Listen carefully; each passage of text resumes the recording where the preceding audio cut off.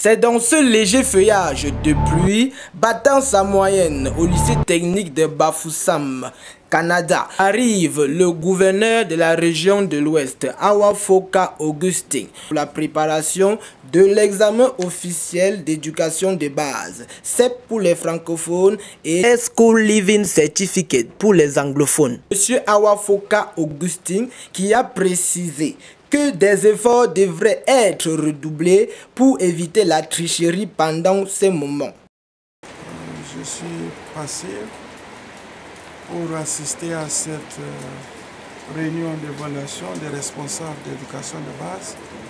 Euh, premièrement, pour euh, voir l'état des préparatifs en vue des examens de fin d'année pour s'assurer que tout se passe dans la sécurité, dans la sérénité et surtout sans tricherie, ainsi que pour demander à ces responsables d'évaluer à la fin de ces travaux euh, tout ce qui a été euh, préparé pour euh, être exécuté au cours de cette année académique.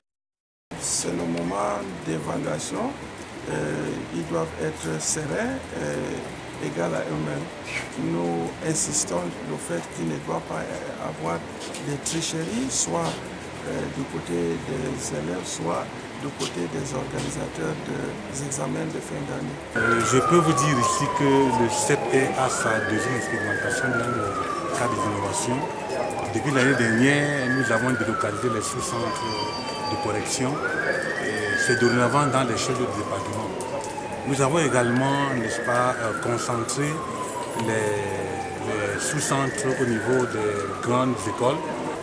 Nous avons prescrit des mesures strictes conformément à la réglementation en vigueur.